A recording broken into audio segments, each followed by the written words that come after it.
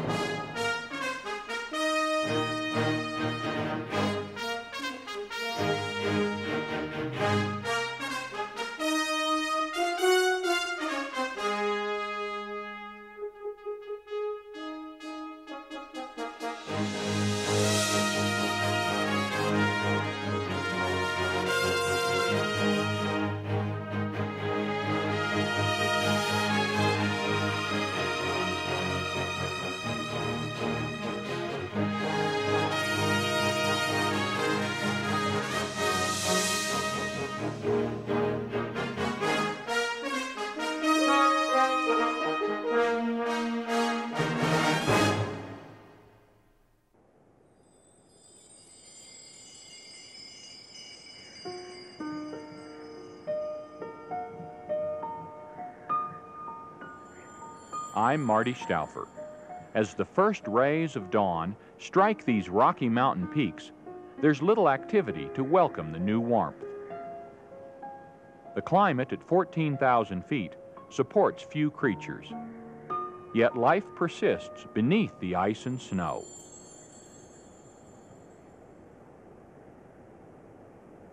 As June approaches, this frozen wilderness transforms into a world of growth and color.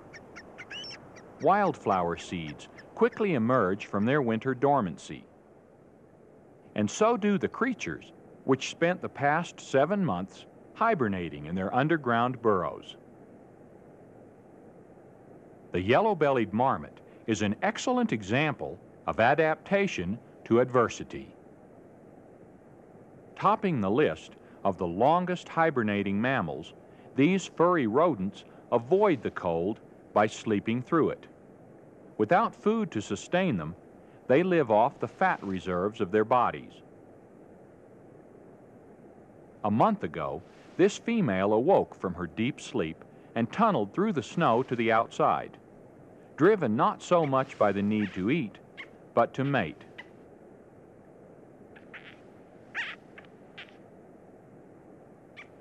After regaining her strength by eating the tender shoots of alpine plants, she's given birth to a litter of three young. By rodent standards, the marmot's reproductive rate is extremely slow. Females don't breed until their third year. Thereafter, they bear litters of two to six young only every other year.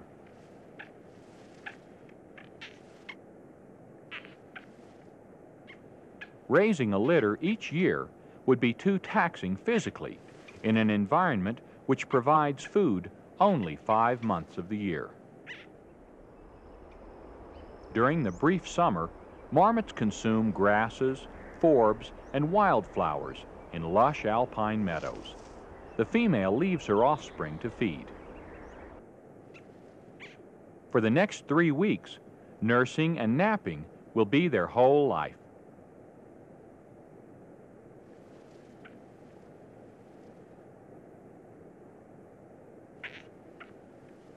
At first, they're covered by fuzzy pink skin. The wrinkles in their skin allow them plenty of room to grow. And grow they do, doubling their weight once a week.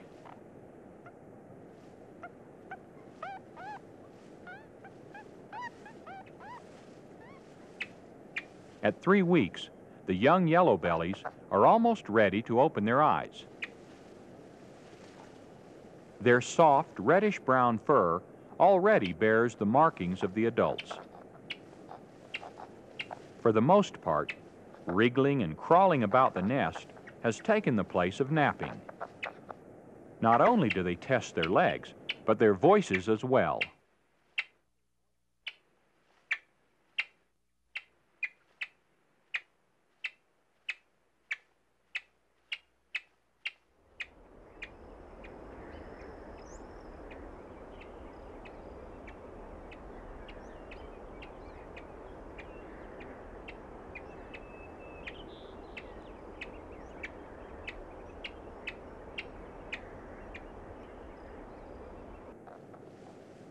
One month, they're ready to venture outside.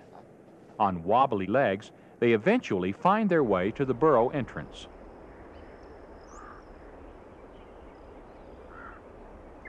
At first, they peer timidly out at a world of vast dimensions.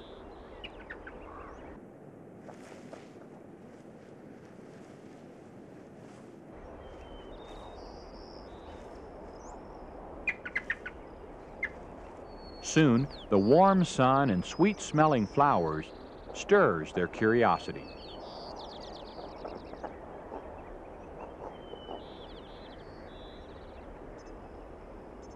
For the young marmots, this is a period of discovery and of danger. They have many predators, golden eagles, coyotes, foxes, mountain lions, and even grizzly bears, all take their toll on marmot populations.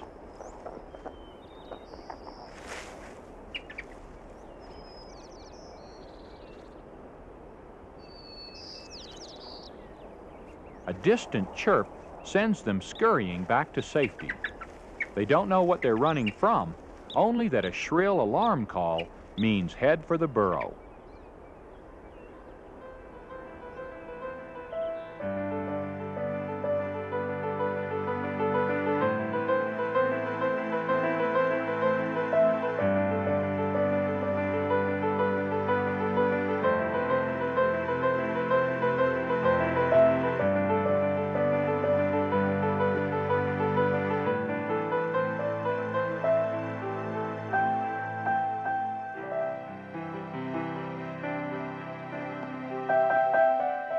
Nightfall puts an end to the young whistler's above-ground activities.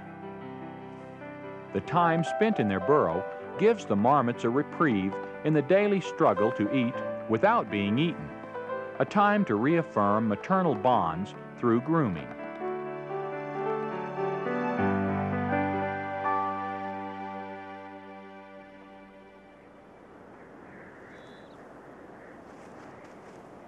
As the day length increases, so does the temptation to spend more time outside.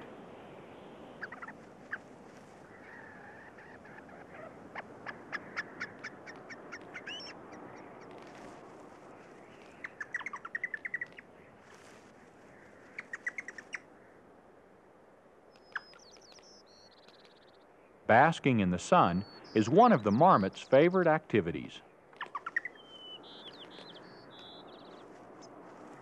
The young whistlers develop rapidly, for they must pack a year's worth of living into just five months.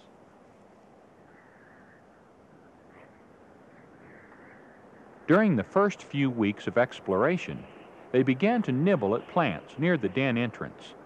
The weaning process has begun.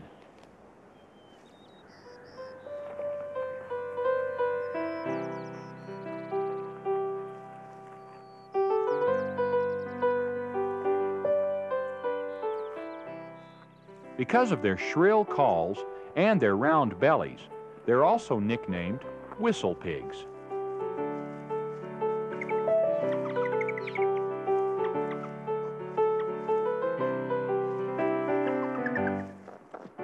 The young are called juveniles during their first summer, and they spend much of their time play fighting, an activity that helps the animals learn their place in marmot society.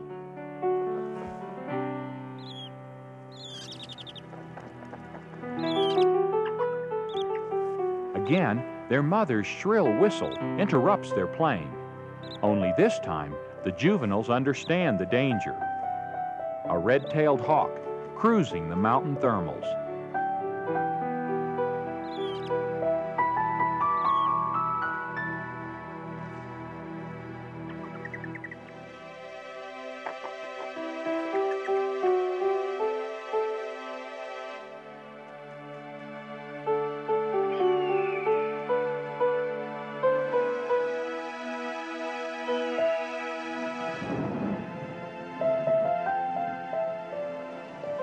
Thunderstorms of August forecast the end of summer on the alpine tundra.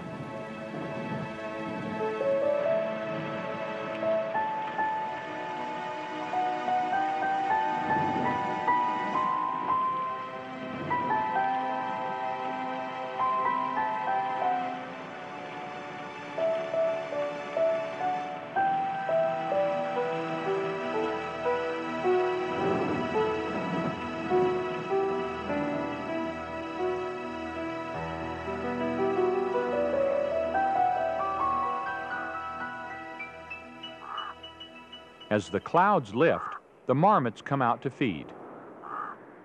Perched atop a large boulder, a marmot keeps an eye out for predators. Unlike their eastern cousin, the woodchuck, marmots are much more social. Kissing allows them to exchange identifying scents, a ritual which keeps aggression to a minimum. The advantage of living in colonies is the same as it is for living in herds, such as this herd of bighorn sheep. That is, collectively, the animals are more alert for predators than any single animal could be. The young marmots now live in burrows apart from their mother but not so far apart that they can't hear her call at the slightest hint of danger.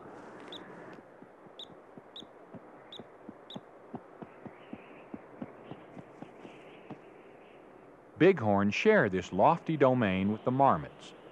Attracted by the meadow greenery, this lamb wanders away from its mother to graze.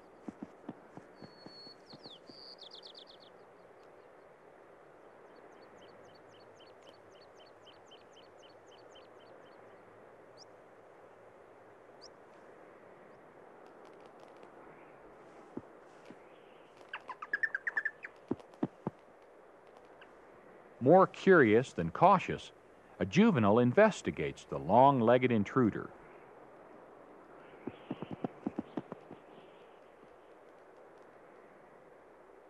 The marmot siblings are more easily intimidated.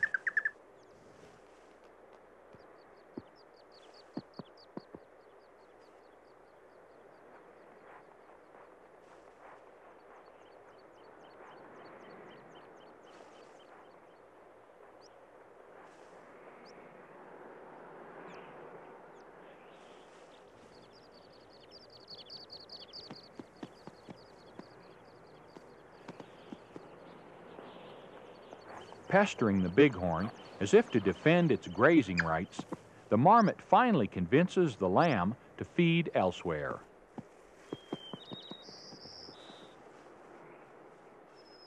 The marmots will now spend more time eating and less time sunbathing. It's as if they know that only fat marmots will live to see the coming spring. Even the bighorn loses no time in building up its energy reserves for winter.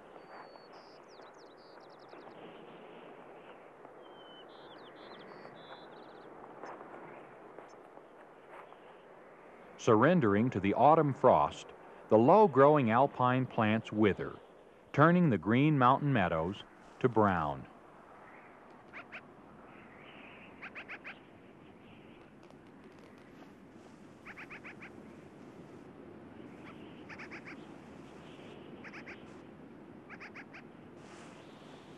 Marmots inhabit mountainous regions in the western U.S., from northern New Mexico into central British Columbia and Alaska. They're also found in the French Alps. There, these whistlers were given the name marmot, a French word meaning mountain mouse. The yellow-bellied is one of six marmot species in North America.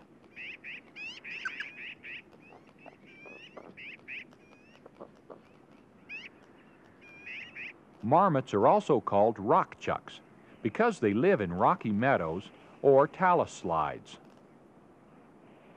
They dig tunnels under the rocks and also use the holes in rock piles for their temporary or flight burrows. Their barrel-shaped bodies and short, powerful legs are perfectly designed for a tunneling way of life. Yet above ground, they move with surprising speed.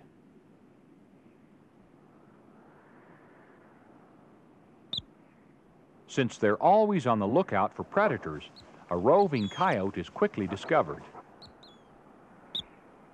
Other marmots join in, and the warning is echoed up the mountain. Ear-splitting whistles are the marmot's first line of defense.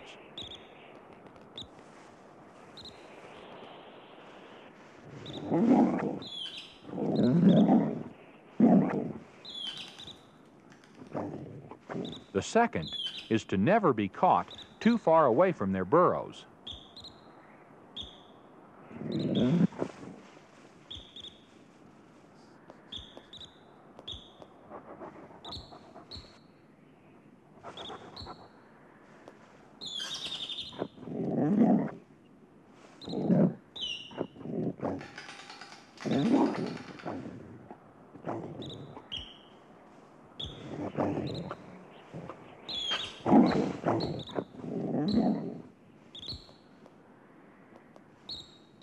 The marmot's early warning system makes escape seem easy.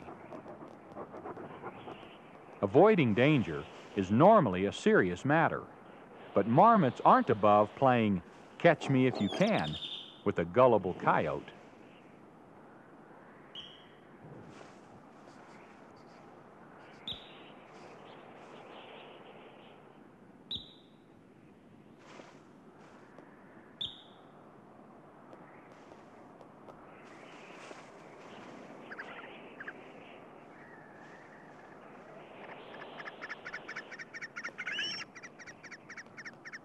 Features of their mountain habitat, such as the rocky outcroppings and the endless views, work to the advantage of these bucktooth rodents.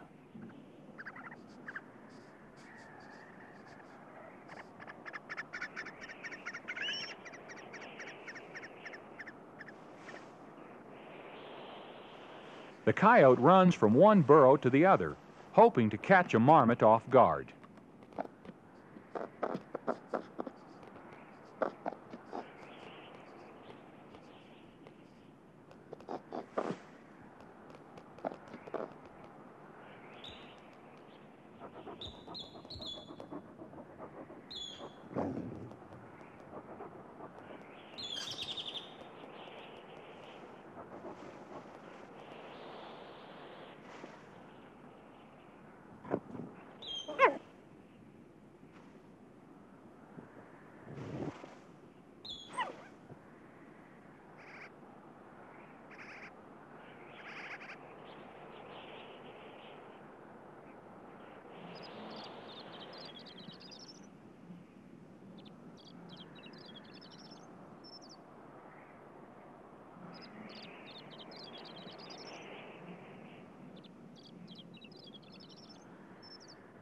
For an even better vantage point, this marmot sits up on its haunches.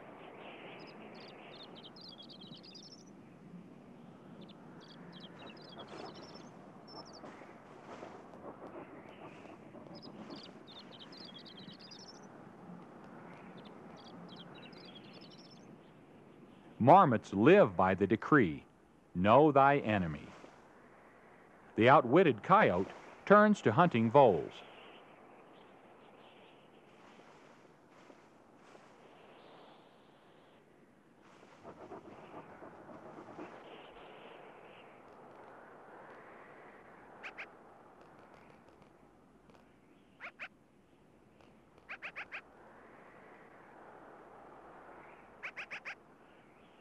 Coyotes are extremely skillful hunters, but it takes an extra degree of cunning to catch a marmot.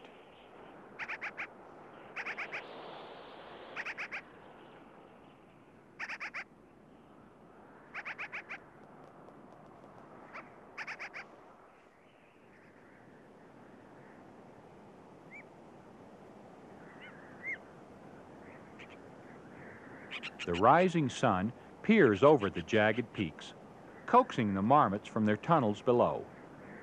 In several weeks, however, there will be no sign of these rock chucks.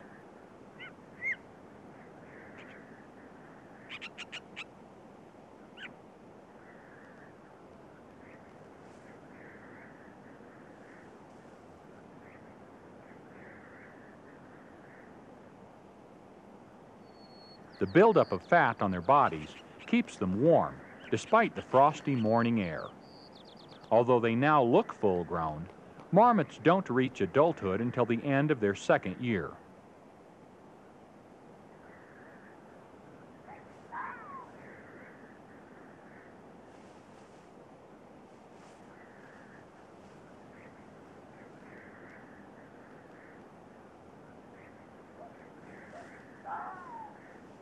Nearby, a red fox pauses in its hunt to survey the situation.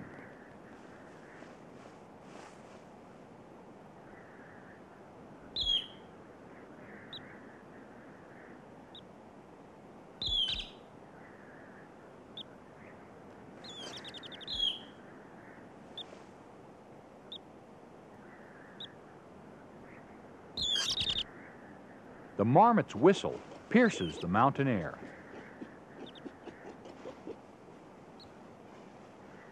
The nearer the fox comes, the more shrill the whistle.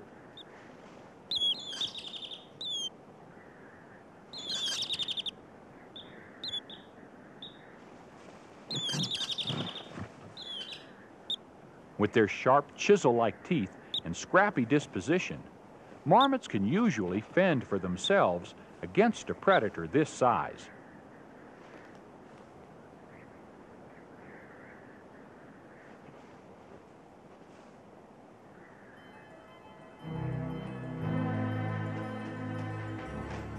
Distracted by the fox, the marmots don't notice a golden eagle landing in the distance.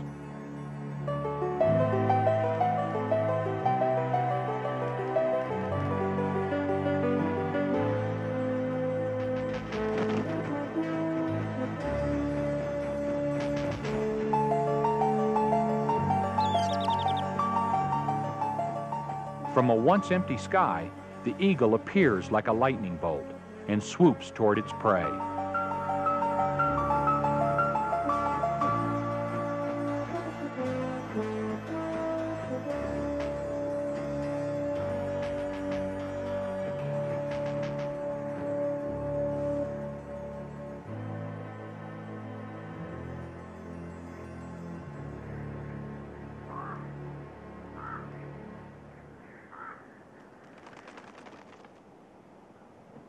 Ravens swoop down from their towering perch, watching for an opportunity to share in the feast. As majestic looking on the ground as it is in the air, the eagle spreads its wings, declaring its ownership of the carcass.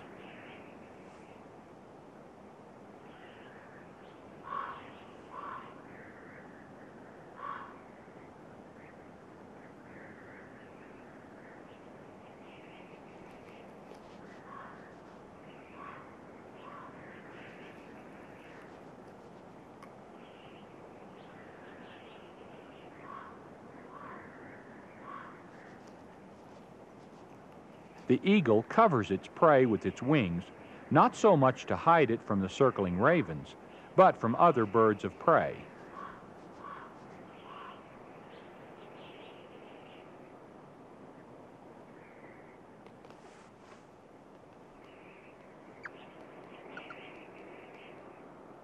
Soon, the only danger the surviving marmots will face is the sub-zero cold.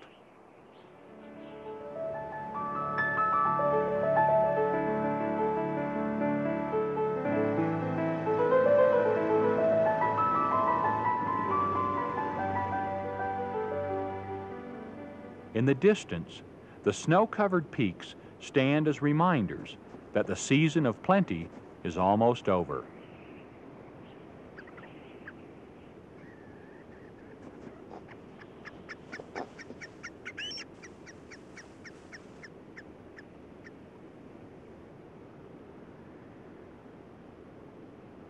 The marmots make a final appearance above ground only to find it whitened by September snow. At least two of the three siblings survived the rigors of their first year. They're lucky, for the odds were against them.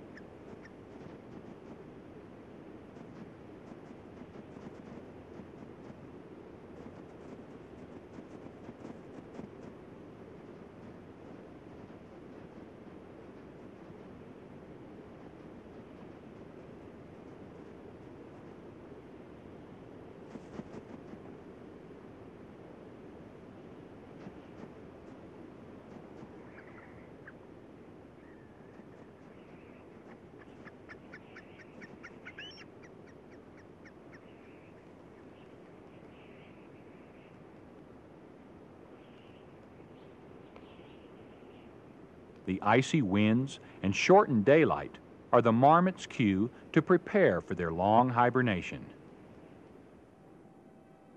Little by little, all the marmot's bodily functions will slow.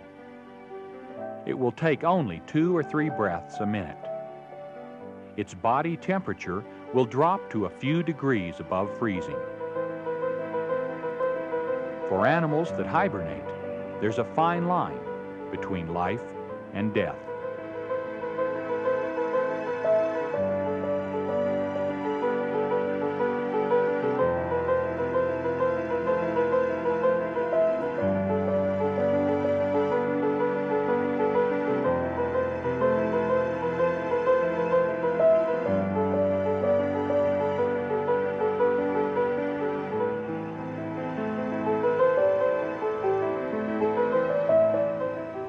As the winter skies grow cloudy and dark, the marmots sleep, well protected in their hidden sanctuary, deep beneath the snow.